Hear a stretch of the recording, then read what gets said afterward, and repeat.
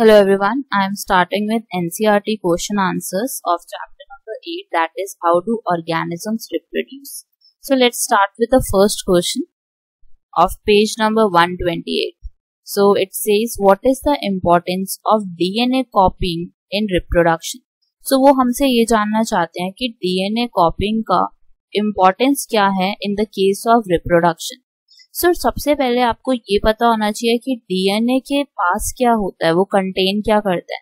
So basically it contains all the information for the inheritance inheritance मतलब कि जो भी फीचर्स जो भी ट्रेड्स आपके पेरेंट्स से आने हैं to the next generation so DNA contains all the information in the form of proteins so सबसे पहले आपको पता होना चाहिए कि DNA contains information for inheritance of features from parents to next generation.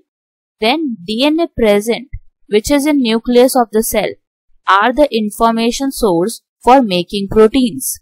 अगर इस इंफॉर्मेशन में कुछ भी चेंज हो जाता है या कुछ भी कॉपिंग में मिस्टेक हो जाती है तो सारा का सारा जो प्रोटीन होता है वो डिफरेंट बनता है और अगर वो प्रोटीन डिफरेंट बनेगा इसका मतलब there will be a problem in the body design of the young one तो यंग वन में कुछ हो सकता है ऑल्ट्रेशन आ जाए। ऑल्ट्रेशन जैसे कि कुछ प्रॉब्लम्स हो जाना।